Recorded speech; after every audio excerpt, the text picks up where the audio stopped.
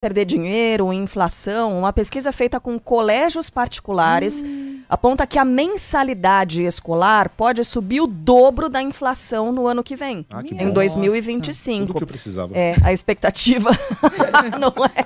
Mas já Deus. subiu nesse ano. Então, é, mas pode subir, ó. A expectativa é de que a alta seja, em média, não quer dizer que vai subir no seu.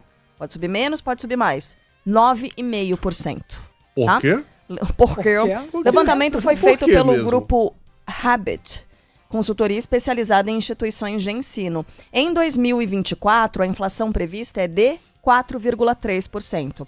Esse aumento, Luiz Megali, pais e responsáveis.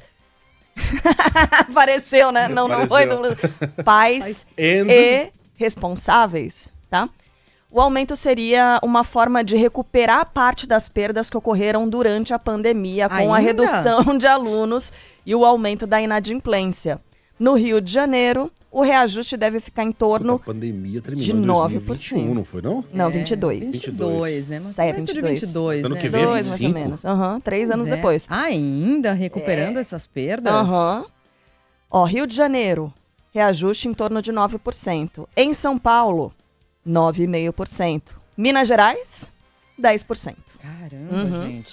Ó, já tô avisando aqui que, Que não vou pagar, que vou se- ficar que inadimplente. se a escola dos meus filhos vier com essa ideiazinha, eu vou brigar. Porque eu não vi nenhum êxodo de alunos ali durante a pandemia, um ou outro, mas hoje a vaga é super disputada. Então cadê? Então, Tem é. vestibulinho, escambau. Cadê essa, essa falta de alunos aí pra, pra cobrir as perdas da pandemia, que já terminou faz três anos? Tô achando Ah, não. muito, hein, gente? É, aí Tá. tem, tem é, ouvinte aqui, ó, de Salvador dizendo: Eba, então os professores terão reajuste, né? ah, Vamos mandar aquele emoji do palhacinho. né? Isso, não, vocês já estão acima do teto constitucional que eu sei. É. Não estão acima de Aham. 41, 44 mil os professores? 44 claro. mil, tenho certeza. Imagina, gente, que sacanagem, né?